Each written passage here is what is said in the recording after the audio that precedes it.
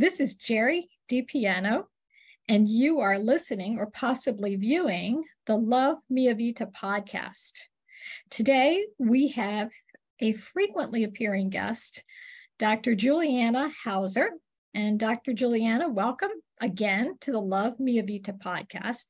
Dr. Juliana is a psychologist who leads conversations about relationships, agency, sexuality, intimacy, and lots more. She is a PhD in counseling education, which she received from the College of William and Mary. She's also considered a thought leader and a sexpert who is diving deep into the hard to have conversations that all of us need to be having. And Dr. Juliana has spent decades counseling and supporting thousands of individuals and partners on their path to discover sexual agency, among other things, sexual intimacy, and fulfilling connections with others. The jewel of Dr. Juliana's offering is something called the Revealed Course. And you can find more information about Dr. Juliana and the programs that she offers by going on the web and finding her at dr-juliana.com And we'll put something in the notes at the end so that you can find her more easily. So, Juliana, it's great to have you here with us again. And today we are going to have a conversation about a model that is a pretty sophisticated model, which we've we've both been studying a bit. It's called the differential investment of resources model, which really is about building social relationships and specifically about building those relationships into our mid and later adulthood. we, I don't think any of us underestimates the value of friendships and social connection. We need that support. We need stimulation. We need to feel a sense of belonging. And we, we know that by having those components, we establish a sense of well being. Some of us get that from our family members, but we also need to think about how to broaden that. And as you know, relationships change over time, even family relationships. Sometimes those relationships aren't the healthiest relationships. And so we find ourselves looking for what's next, what's more, how do I still feel engaged and important and fulfilled in those relationships that don't necessarily involve kin, blood relations, but really are more about kinship. So let's talk about this something called the DIRe model, which really is about these social relationships and specifically about friendships as life changes. Well, first, thank you for having me again. I always look forward to our um, conversations. And I love the topics uh, that you want to get into. They are so important and they're often the ones that other people aren't having. Uh, so, thank you. Uh, you know, it's inter- so interesting. When I first started diving into um, the DIRe method, um, at, at, first it, it, looks pretty intense. you know, there's a diagram and there's lots of explanations, and then like, oh, similar to what you said, which is like, oh, sure, like I get this. And then I give it more time, like, oh, this really, this this really speaks to me, and, and on, on several different levels. And one of which is I um, you know, being a therapist, I, I get to hear a lot of uh, stories behind the scenes. And one of the most surprising things, especially in my first few years of, of work, was how many people have so much pain surrounding friendships. And it is not a topic that a lot of people speak about. And there's not a lot of support in it. And um, there are, I loved the explanation, uh, the um, example you gave um, earlier of another podcast guest that you've had speaking about friendships and looking at that. And I know that Bumble app has tried to do friendships and um, like how do we meet people? And for me, and we I know that we've we've discussed this previous that, that I I really believe that connection is such such an indicator of your quality of life um, and you really only need one person that you are deeply connected to in order to feel a sense of connection further. And, and to me, the reason why is because it's about affirming outside of yourself that you matter, that the fact that you're here matters. And some of us are blessed by having family that automatically and easily allows that to be the case. And it's not this catch-all like i have to you have to matter because you're family but like you matter. I'm lucky that you're mine. I'm lucky that you're in my family but not all of us are blessed with that. And some of us have both that we have some family members that it's an ease filled thing and some that we don't. And so i was also really drawn to this model that it, it, it extended beyond family uh, and kinship the word that's the word that they're using. I find that to be a word that is not used enough in our vernacular and in our conversations. Um, so i got very excited uh, to dive into the concept of, of what this is. I um i also have had this in my personal life that uh, my first husband uh, is in the military and so we moved seven times in seven years. And there was a, a very big difference in he had an automatic excuse me he had an automatic support system set up with military. So he had a job that was lined up. He had people that welcomed him, and they had a system that knew how to bring us into a community and into, into he was in the army uh, military community. So he didn't have as much of a curve as I did on uh, finding my network. And this was before the internet. This is before it was, you know, cell phones, frankly, like it was before really things were, um, uh, it was much easier than, it, than it, it was not as easy now to stay connected. So every time he moved, I had to rebuild my network over and over and over again. And this model would have really been validating because at the time I didn't have a lot of words except for it's just hard to start to try to find friends that was as much as I could take it in the complexity of how I was feeling. But this model really helped me to see, oh, it is more than that. It was my dispersion of time. It was what resources I had. It was um, how how was I feeling about myself and relating to all all the other aspects of things, and looking at it scientifically. Even knowing that somebody thought the concept of connection mattered enough to study scientifically is validating that the experience of creating a social network for yourself um, is not easy. No it's it's definitely not easy. And i you know i i can tell you that you know as as a maturing adult i use that term maturing adult uh, who is in midlife when you think about um, how your relationships start to change and you think about the the the idea of the finite amount of time that you have and how you choose to invest. We'll use the word investment, which is what this model contemplates, which is investing your time. It really is, it, it's important and it matters. And the thought of, okay, I, I work, I'm a CEO and, you know, I have a lot of networks. And in some of those, some of those networks which I would consider very weak. They're weak ties, right? So they're, you know, these are people I know, but they're not really friends. So they're weak ties. And working those weak ties requires a lot of energy. Mm-hmm. Now, as we enter the middle phase of life, sometimes we still have a lot of energy, but it's where do you want to place that energy in the relationship? Because if it's a weak tie, is it really that satisfying? Mm-hmm. You yes, you can go and you have a glass of wine, or maybe you grab lunch, but the weak tie doesn't really doesn't provide you with the kind of support and the kind of engagement that you really need. And perhaps that's because that person doesn't share, con- aside from maybe some work experiences, they don't really share anything in common. And it, that the model talks about that. Um, and again, it seems intuitive that this should be the case, but the model really validated my own feelings, which is that I really don't have hundreds of friends. You know, on Facebook, right? Everybody's so proud of the fact that thousands of friends. Are they really friends? The people that really that follow you, you have a handful of people that follow you on Facebook because they're the, the people that are really your close ties.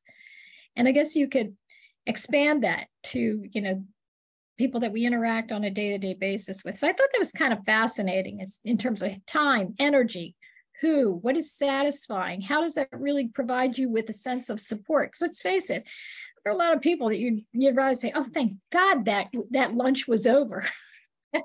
yes.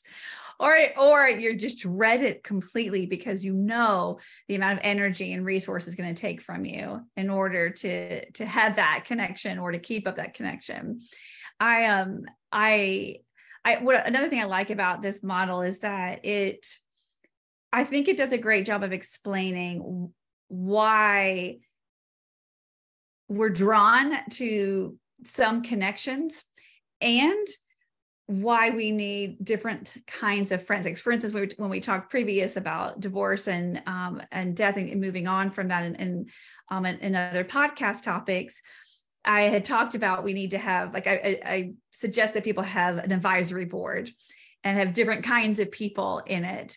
And when I then put the DIRe method onto the dispersion of that, I was like, ah, that's another example of why we need different kinds of people and taking it more into the, the model terminology it's we we have different needs of depth in our relationships based on where we are in our social networking and what you're saying too like for the for the relationships that they ha- they meet a need but they don't meet the connective need um, those can be quite draining because they require so much more to show up and find the connection outside of a two minute hello how are you? Uh, here's this work thing uh, that we're going to talk about that is very different than what it takes for the friend that is ease filled that you can show up at lunch you are five minutes late and you've had a terrible day and you don't have to put on airs. Or you say things are fine and your friend says no it's not. I can tell. Like what? Tell me tell me what it is. And it's not to say one is more valued than the other or that you can't change um, some of those relationships into something else but to, to speak to your point that some of it seems obvious but then it's actually really validating is we have a pressure on us uh, and, I, and I'll say this particularly for women, uh, women identified folks, to be friendly, to be open, to be connecting, to be people pleasing to everyone uh, that we come across. And I think this DIRe method allows us to be purposeful and intentional of who who we're putting our our time and, and resources into. You know, it's that's a very good point. We they talk about um, sort of different types of relationships that you have. And, and if you think about buckets of friendship, right? So there are those friends or the these are your objectives. So maybe you need that emotional closeness. And the emotional closeness, you know, that you can find with people that have affection that is shared, values and interests that are in common. Um, there's a reciprocity of support. And we all we all should know those people right? You hope you know those people. It's somebody that you you just shared this with us you're at lunch you you know you had a terrible day you show up you're smiling but behind that smile you feel like your heart's just been ripped out because something terrible has happened in your life and your friend is there to support you. He or she doesn't really care about the fact that you're late or that you you know you're very you're very quiet.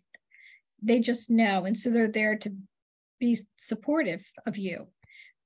But those and those relationships can be easy and that's the other thing that the DIRe method speaks to what is the ease of the relationship? Because that emotional closeness when you have that emotional closeness it's easy.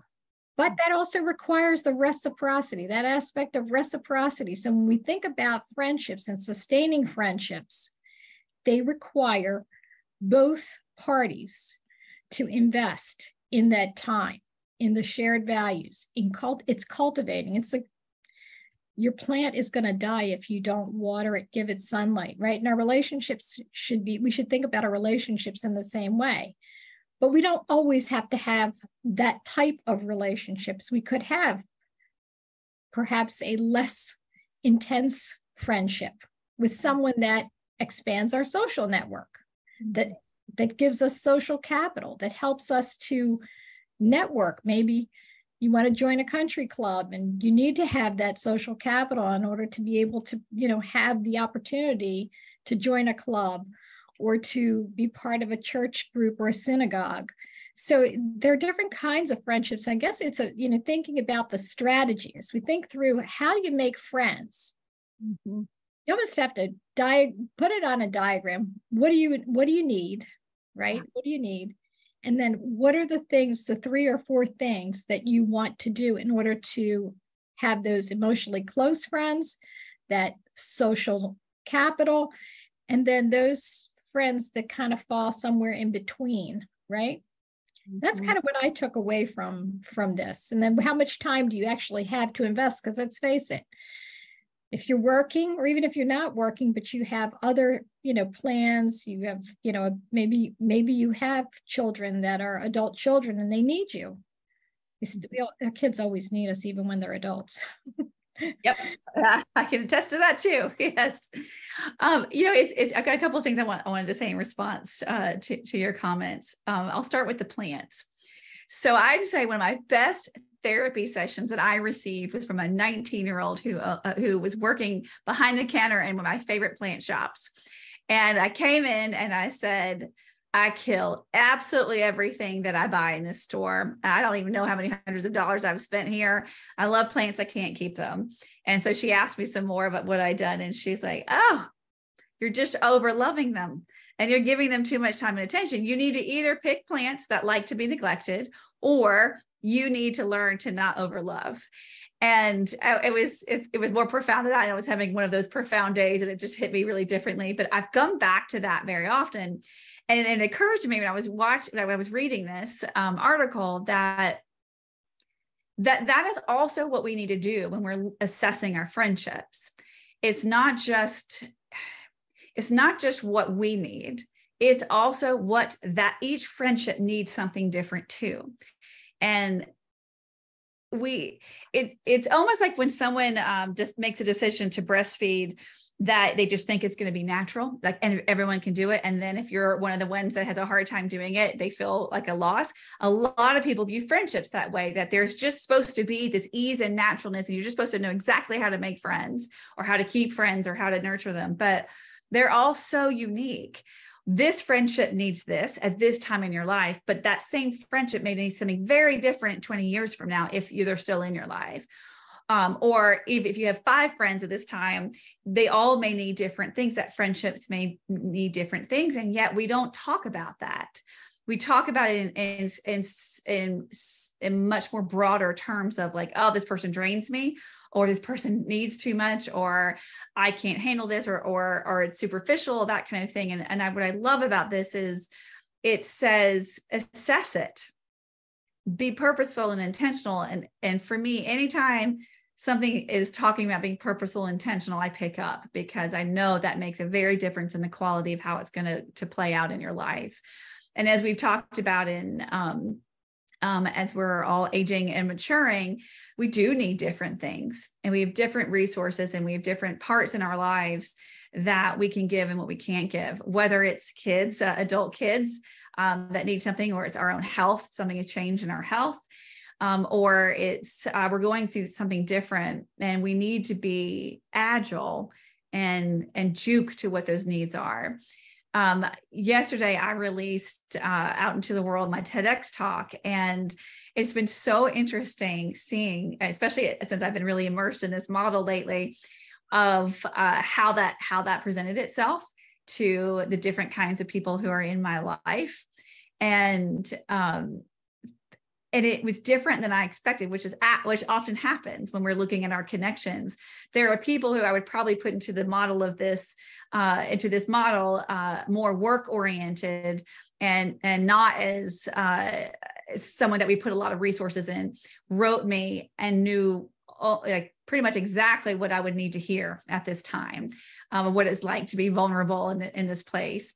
Uh, and then there were some people who uh, who who were there with me. I tell this one personal story in it, and didn't didn't say the things that would have been ease filled with it, and w- that would have been really important for me to hear from somebody who who knew me very personally.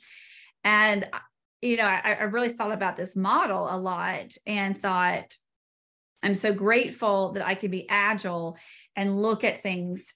It it helped make things feel a lot less personal and it allowed for the ones that surprised me in a positive way to um, to really embrace that and feel grateful for the meaningfulness of that based on uh, the way this model flat things out.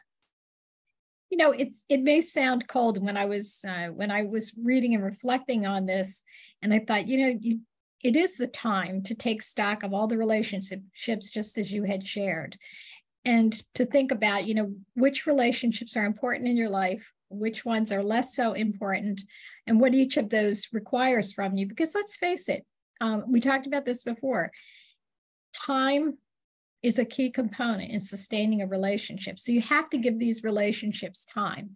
And perhaps 20 years ago when you became friends with a group of individuals you either did or didn't have the kind of time that was necessary to, to build on them, but you really enjoyed the relationship. Now, perhaps you have more time, but the person, the group of individuals that we're speaking of, you could put them in the that bucket. Maybe they don't have time for you. Mm-hmm. So it could be that those same individuals now are grandparents mm-hmm. or they are unwell because let's face it, it's not just time, it's time and energy, and health plays a big role in determining both. If you're spending half your day going to doctor's appointments, you just don't have the time, and you probably also don't have the energy because that might imply that you are not that well. So, yes, you may want to you may want to give support to those friends, but you just physically and emotionally don't have the, the internal resources. So perhaps those change. Mm-hmm. And we do know, at least and the model reinforces this, that time is the best predictor of your friendship intensity. If you don't give it that intensity, it will probably your your friendship will start to wane. Doesn't mean that it will go away, but it's likely going to change. And then what happens is the closeness starts to evaporate, right? So things that you once had in common start to dissipate. And I and and I, so I think that that what you shared, um, pragmatically speaking, does make sense in terms of how we think about our relationships, what we need for each of those relationships, and whether we are capable, right? Whether we are capable of sustaining that relationship. And then that begs the question, do you abandon the, do you abandon that relationship? So how do you rekindle those kinds of friendships? Let's let's say that you do have a friend that, you know, you had that closeness, perhaps they are struggling with health and you know lack of time but you really care about the relationship what does that mean for you if you want to sustain the relationship mm-hmm.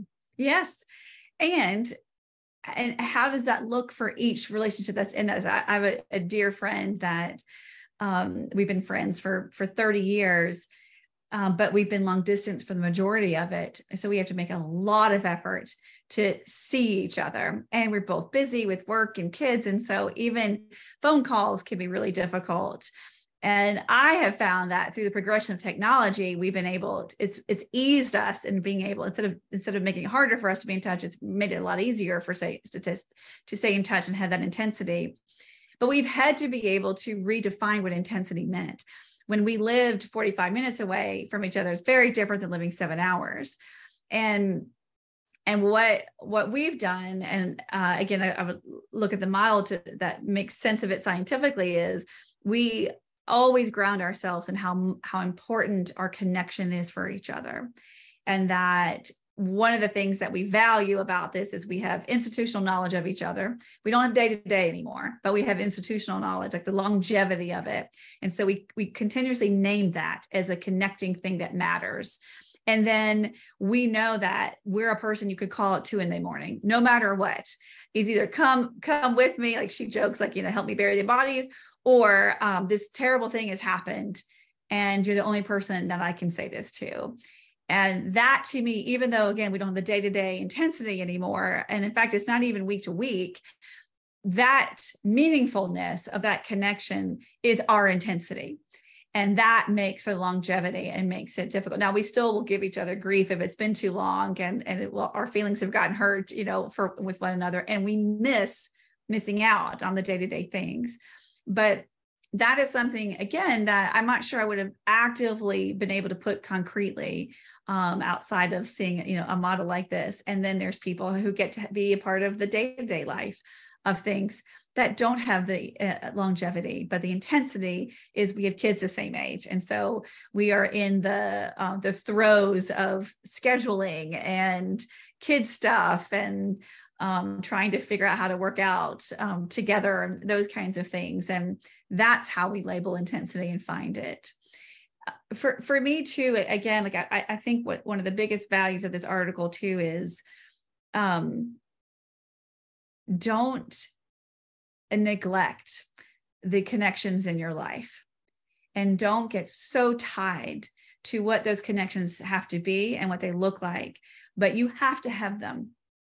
And they don't just happen naturally for most people in the in the in the length uh, and then the amount of connections that matter in it um, it is not going to just happen for most people. And your health your mental health your um, and even longevity and quality of life makes is is directly correlated to connections you do have to make friendship a prior- priority in your life. And you know as we said it's it's a combination of time and energy. And in close relationships just as the one that you described you have that you, you probably have that longevity of the relationship. You have a closeness. It's based upon common values. It's based upon some shared experiences. And no you don't have to see each other every day or face to face or otherwise to still know that you've shared that, that you have shared things with one another.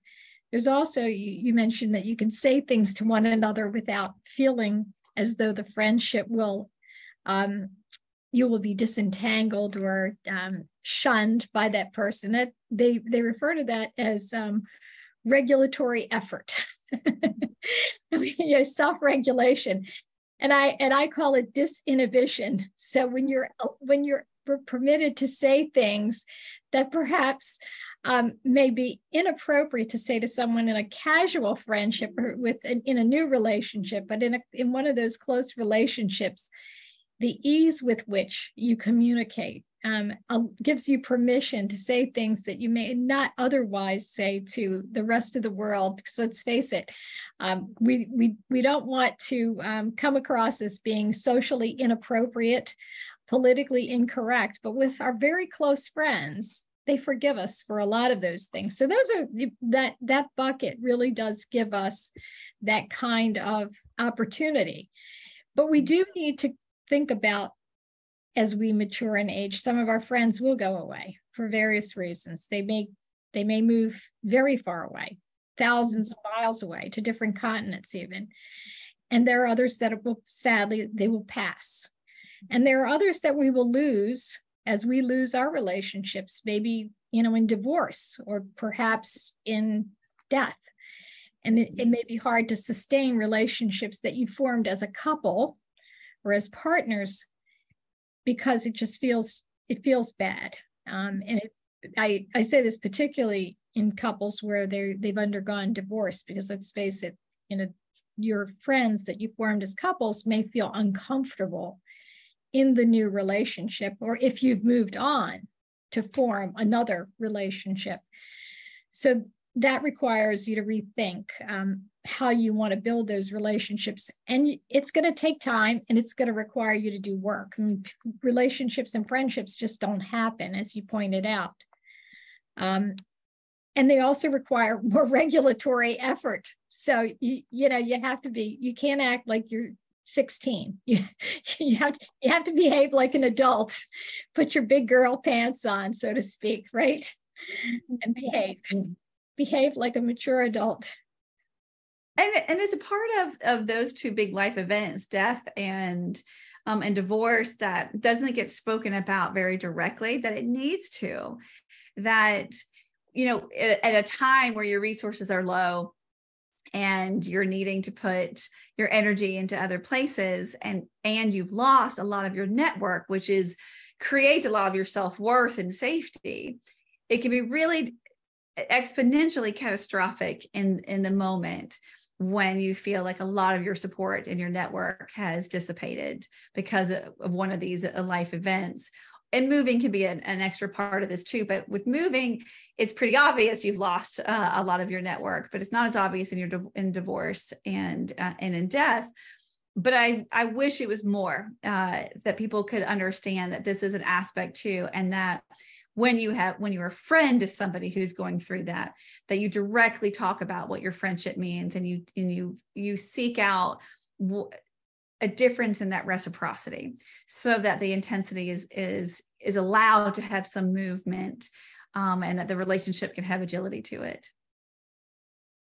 And we shouldn't forget that relationships may not happen. You may not form a friendship. So you don't stop trying. You know you try something on. You know i use an example in my own life where i was looking at my network and my network consisted of folks that i've known for a really long time who i love for very we have a closeness and then there are my work friends eh, some of whom some of my colleagues have actually become my friends which is also really cool and and that's one of the ways to make friends by the way so as your colleagues are no longer your colleagues, it's really common. You've shared a lot. Let's face it. We used to joke about having work wives, work husbands, and it, it, nothing sexual about it, but it, you share so much closeness during the course of the day that you you naturally have that commonality, right? That can perhaps, not always, but perhaps can become a friendship. But so those are, you know, that's another opportunity for you. But let's face it, you i joined a, i joined a group. I thought that i wanted to find this external group and i believed that we had a lot in common. And after spending about six months i'm sure they came to the same conclusion. They weren't too excited about me and i wasn't really excited about them. And nothing wrong with the group. I mean they're very lovely individuals but we just didn't click. So i didn't give up. Um, I looked for another group. And I think that that's important is to remember to keep trying. Don't give up if something doesn't feel right. Maybe you're philosophically on a different plane. Maybe they require too much of your emotional energy and you just don't have it because you're working or you have children or whatever, what have you. But don't give up. Um, and yeah, do find former colleagues that perhaps you enjoyed and they can become some of your friends you know, the article describes um, four different types of networks, and I think that's what we were alluding to earlier. So we may want to spend a little bit of time thinking about, you know, how do we name those those friendships and networks that may become important to us and may change over time. Mm-hmm. Yeah, and and see them as uh, guiding posts instead of uh, that you have to have something in each of them or there has to be a certain amount in each of them. And, and I, that was another big takeaway for me too which is this is um, there's a there's a lot of option if you can open up to creative ways of creating friendships and being in friendships and like you said like different networks in them. Um, the exact names are eluding me right now.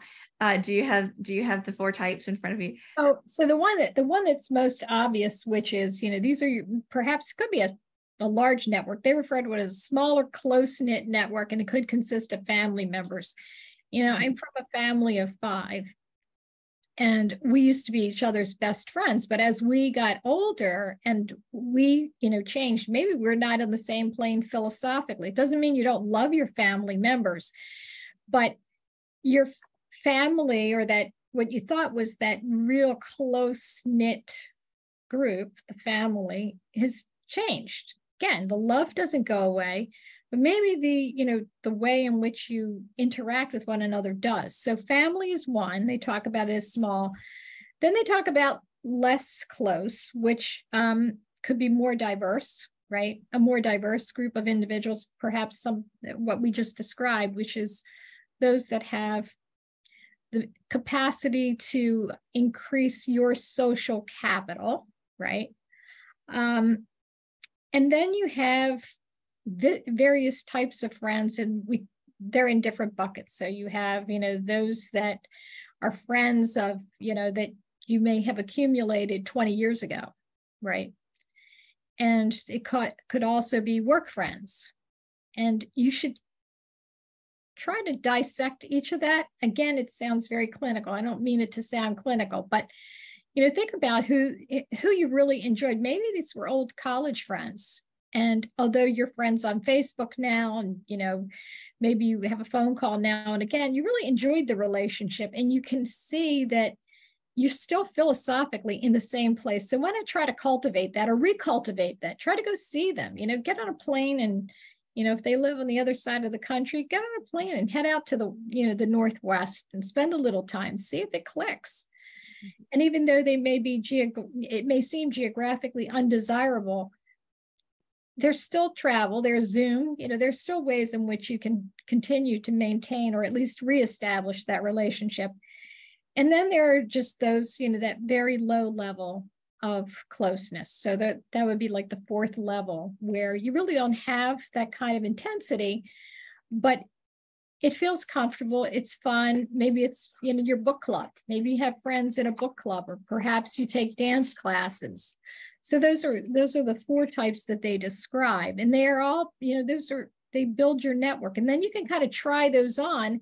And what may start is the diverse group, the let the, the group that is less close, maybe that ends up being the group that you gravitate towards more so than some of the others, and you start to establish those friendships. But I guess it requires trying a lot of this on.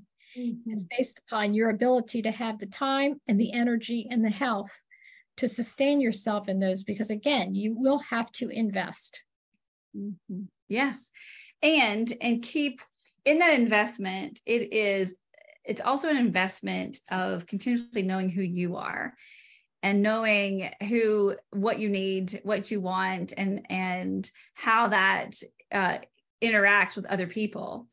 Because you can you can seek out connections with people in all these four parts but it will feel unfulfilled if you're not showing up authentically to these connections and not feeling safe enough to show up authentically. And i think that can change like that you know the family bucket is a complicated brew and it's for some again like we've talked about like it's it's ease filled and uh it's you either have a, a, a close people in your siblings or with a parent or two or um, or you have a huge network that of, of family members in one area. And so you always have family gatherings or you always know that it's there's going to be you know this tradition.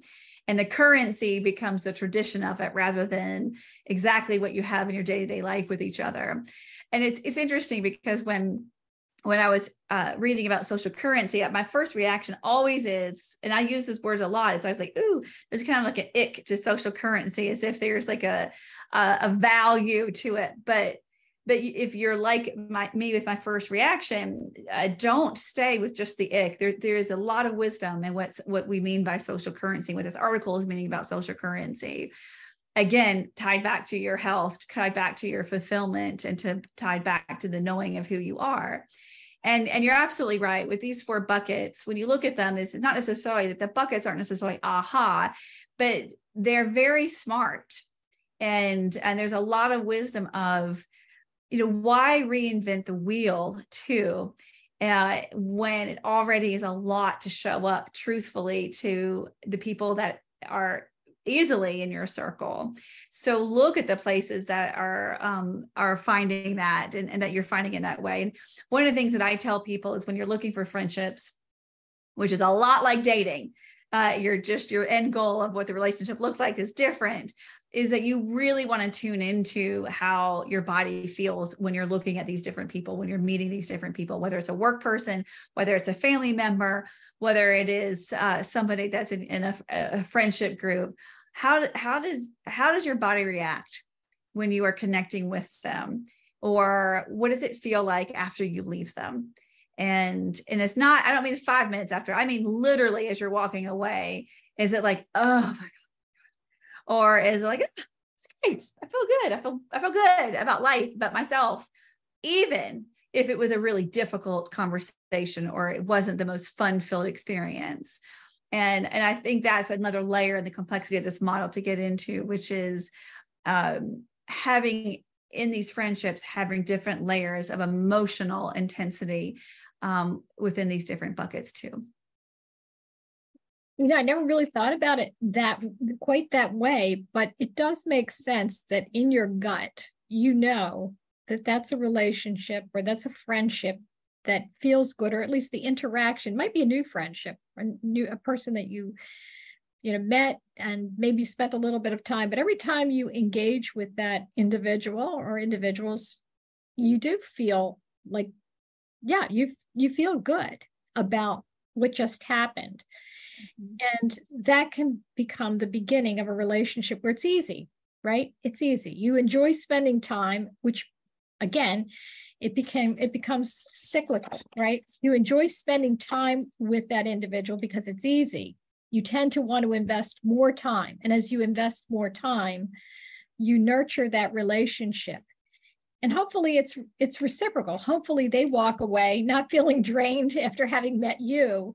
And let's face it, we've all been in situations where those of us that are hyper empaths, and I have been told that I am a hyper empath, you feel drained because you you may be on the receiving end and you're a psychologist, so you you know what that feels like sometimes. But it, it's your profession, so for you, it's you you signed up for this. But if you're in a friendship, if you're the one that's always on the on the receiving end and you're not on the giving end, mm-hmm. it can feel pretty awful, right? If you're the one always take, you know, finding ways to assuage someone's fears or you know listen to their problems and you get nothing back, then maybe that's not a relationship that works for you. Maybe it's draining, but you don't know until you try. And, and sometimes it won't be perfect. It's not going to be 50 50. Some days it's going to be 150% on your part, and you know, the other party is given nothing. And that's that's part of building the friendship. Um, you know, the the point of joining groups is is also important because you you will find if you find a group that um, where the interests are similar. You love to dance, you love to sing, you want to be part of theater. Um, I have a friend, a dear friend, who um, had her own advertising agency, New York ad agency, uh, massive clients. And she decided that she wanted to retire young, 60 years old. She decided that she was retiring. And she now does ballroom dancing. She got involved with a group and she is incredible. She's winning dance contests all over the United States. She looks magnificent. Mary Lou Quinlan, I'll just do a plug for you. she looks magnificent. She's loving it. Um, and she met new friends. Hmm. Not that she discarded her old friends, but she met new friends. She put herself out there she's always been you know an actress. I mean she was in college theater and so forth but um you know so there were some natural gifts there. But again find your natural gifts. I think that's that's the bottom line. Showing up authentically showing up authentically the truth of who you are makes a big difference. Yeah. And what i have learned too is when you are in a place that's comfortable in your own skin then that is what people are drawn to. And it makes makes those connections uh, come to you instead of you feeling like you have to work so much for it. And it it, it can rule out the ones that it, it, it, just it's a really good barometer. When you're showing up truthfully of who you are to a connection whether it's a new one or, or an old one then that's half of the work. What you're saying like in, in monitoring your resources if you if you feel like you can't be who you are that's automatically taking a chunk out of your energy and your resources in order to keep up with that relationship and we all have to do that to some extent in, in some parts of our life but you really want to have when you're looking at all the, those four different places which is why sometimes family is so tricky too is that just because they're family it doesn't mean that they get you that the same values or that you can show up truthfully of who you are. It just doesn't mean that. So it can feel like a drain in that way. But when you can make some choices outside of that of who you're spending your time with it should begin with knowing who you are and showing up second showing up, up authentically as who you are and seeing who says yes. The the visual that i give to it is like this. Like i kind of feel like this is like i put my hands over over my, my chest and open them both up as like a soul like do you want me? Uh and you want to you don't want to be like, boop, boop, like too, too much you want to open it up and the question is put out there and when someone else says yes do you want me in that friendship then you get to have a more ease filled experience and, and that's not to be confused with everything always being hunky dory, everything being uh, happy and ease filled in what the relationship is. And in fact, I believe that you have to have some discord, you have to have some kind of conflict to really also see the fullness. Because to me, beyond beneath all of this is safety connections that you feel safe in having conflict, safe in showing up truthfully, safe in sharing, and safe in receiving. Um, those are the connections that I think this model is asking us to look for.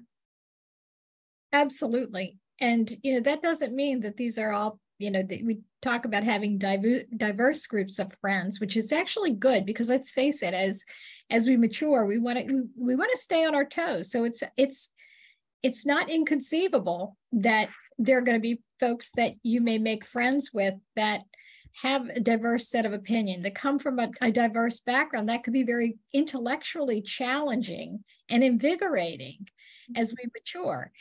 And you know perhaps it's something we never thought about. Again you're you're showing up authentically. It's not that you're a chameleon and you're going to change or they're going to change to conform to your beliefs or what have you you can show you can have that mutual respect and that perhaps that the safety which i think is really fundamentally important as you just pointed out. Um, so it's not it's not inconceivable that those relationships might not also be kind of invigorating and and and and helpful as we mature and and think about you know what the next phase of life is going to look like for us. Um, and lastly lastly we talk about people who have had like best friends. And I don't know that it's necessary that we, I mean, think having a best friend is probably awesome. Uh, my husband happens to be my best friend, and I don't mean that in, you know, sort of a, a weird way. He just is. We've been married a long time, and he just is my best friend. And I don't know that I'll have another best friend, male or female. I, I can't imagine that I will. Um, and if if I am fortunate to have him la- outlast me, which would be a good thing, um, then I don't think he will either. But sometimes that if your your partner is your best friend and you lose your best friend, it's okay not to have another best friend. It really is okay not to have another best friend, whether mm-hmm. it's because you divorced that person or they divorced you or they passed. Um, it's really okay. You can have closeness with other folks without naming them as best friends. Mm-hmm. And it's okay not to have a best friend at all, too. There's there's a you know I, I again I kind of back to what I said in the very beginning, which is I get to hear people's deepest fears and and sadness, and and I'll have people ask me like, is it is a friendship all that it's cracked up to be? Is it is it is it are you supposed to have a best friend? All the movies all the books. It sounds like if people talk about best friends all the time and, and typically they're talking outside of their their spousal relationship um, and or they'll say how come i don't have a best friend? Like what is it about me that's made me not have that? And I, and I think we should um, I think we should take our pressure pressure off of that as well. And I don't think that we should eh, you know really tie into the shoulds. But I do think that having so if your spouse is your best friend and you lose your spouse for, from whatever form, then there needs to be something or someone that doesn't have to be the same, but has a level of emotional intensity to it that, um, again, can remind you that you matter. And I think that's the biggest gift and loss uh, with a best friend, too. And it can happen later in life. So just a, a, one last little vignette, which is uh, true, an accurate vignette. So, my mom passed at the age of 90, two years, it'll be two years. And my father was really her best friend. Uh, they'd been married for over 50 years. Um, he died 12 years before um, she did. So, left like most, you know, mature adults, big house was too much. So she went into um, and a, a living environment where she was with a lot of mature adults, you know, and all these people were new, out of her neighborhood, with totally, totally new situation, new living environment, new individuals, males and females. So it was co ed. I, I called it the co ed dorm, although it's much bigger than a dormitory. And she had to start over making friends. And she did some of the things that we just suggested. She formed her own club. She mm-hmm. participated in another club. She met with people and introduced herself and sat down to have dinner. And then some it, some folks she got along with and, and others she didn't. And over time, you know, she found her group, she found her friends. And then surprisingly, she found a very close friend who happened to be a woman who was, I want to say 20 years younger than she was. And they mm-hmm. just clicked. And it all worked out. So it is, so the the good news is um, this woman was, you know, although she was two decades younger than my mom, they just had something in common, some shared purpose, and established a closeness, as she, she called her a sister. And so it is possible for us women to find our sisters, mm-hmm. even if they are not our biological sisters. So I love I love telling that story because it's number one, it's true. And number two, it's really it's really something that creates hope. At least for me, it creates hope because I watched it in real time. Um, so, Juliana, what are the three things we want to leave our listeners and viewers with mm. in this as we talk about this very sophisticated model? It's a great model. Mm-hmm. It is. Uh, for me, the the three takeaways are uh, this: re- friendships are a very integral part of your health and your fulfillment uh, here on, on earth and they're not always natural. So and they're not always ease filled and so it is absolutely worth the investment to put into it.